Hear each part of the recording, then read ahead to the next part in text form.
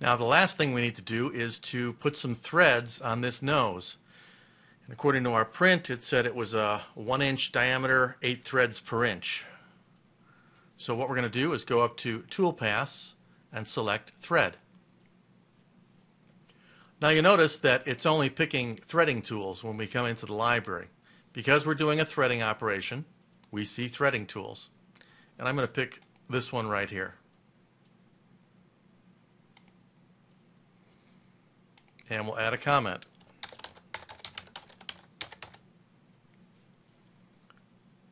So let's take a look at the thread shape. Now, we know by looking at our print that this is going to be uh, 8 threads per inch. So I could put 8 threads per inch in here. And I know it's going to be a 60 degree included angle, or 30 degrees on a side. And I can put those values in here. I can also tell it the major diameter, if I know that, and the minor diameter, if I know that. But there aren't too many people I know that have all their thread tables memorized so that they can remember their major and minor diameter or remember what the thread depth is supposed to be. So, because you can't remember all that stuff, we're going to say select from table. There's a threading table that's built into Mastercam. So when I pick select from table, up here gives us a list of thread forms. So from here I can pick different standards for threads.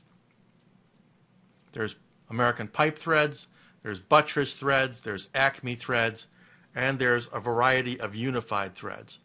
So we're going to go with the default UNRC UNRF threads.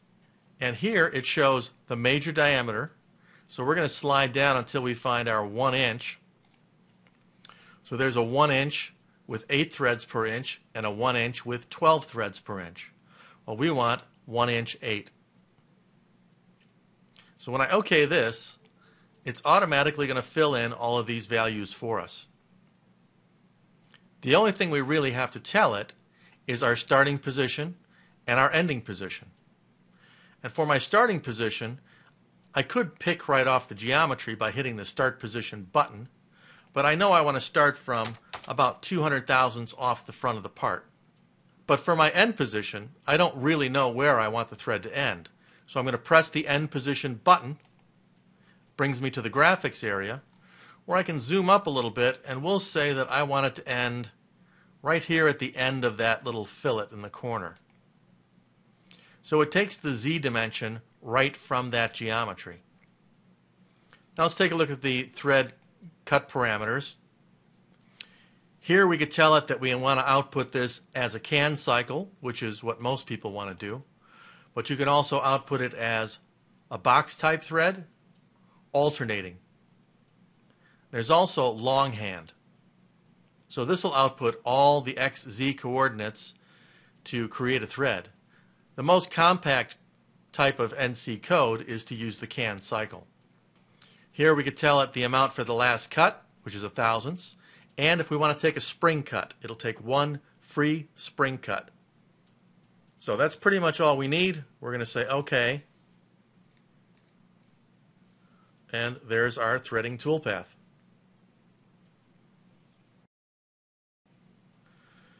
So next, with my cursor in the Operations Manager window, I'm going to hit the letter E on my keyboard to collapse all of these toolpaths, make it a little more compact in the window, and then I'll click on the toolpath group to select all the operations, and we'll take a look at this in Verify.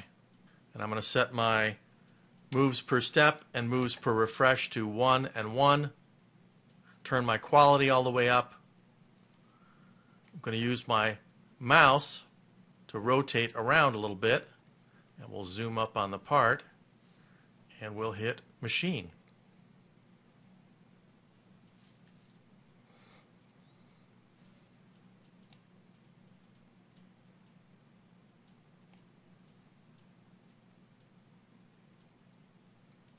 There's my part. And again, we could easily do a cross section to see what that's going to look like.